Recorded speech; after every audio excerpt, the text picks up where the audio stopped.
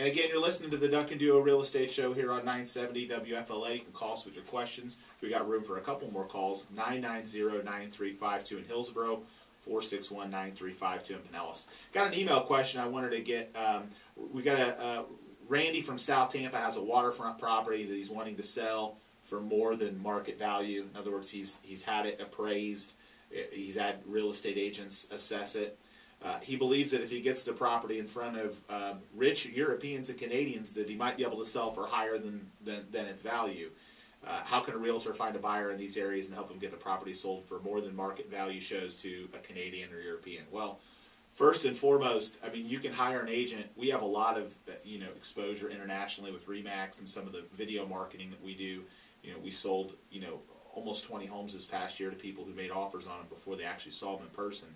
But uh, more than anything, rich Canadians and Europeans aren't stupid. I mean, they're they're going to do their due diligence too. They're going to look at uh, the appraisal. They're going to look at the market value. They're not going to pay more than market value. That there's a reason they became wealthy, uh, and it's not because of overpaying. So you can expose it to those audiences, and you can certainly sometimes get a premium for a property if it really fits someone's unique need. We've sold homes to you know, uh, you know, we, we had one, you know, we sold to a Japanese guy this year that I thought we sold above market value personally.